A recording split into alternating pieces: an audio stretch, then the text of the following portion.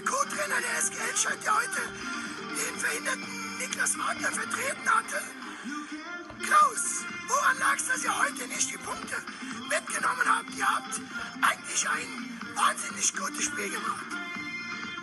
ist äh, kurz erklärt, äh, wir haben äh, unsere äh, Möglichkeiten nicht genutzt, die Torchancen, die wir uns äh, erspielt haben.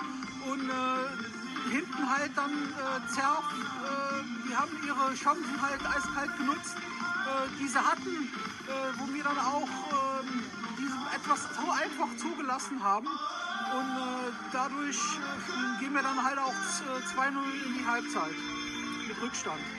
Ja, und die zweite Halbzeit, da wolltet ihr es noch einmal wissen.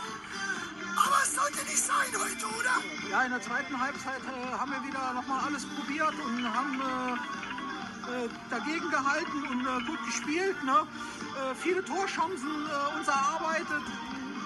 Aus meinem Gefühl her auch ein Tor geschossen, äh, was dann leider nicht gegeben wurde nach einer Eckball, wo, der, wo wir gedacht haben, der Ball war drin.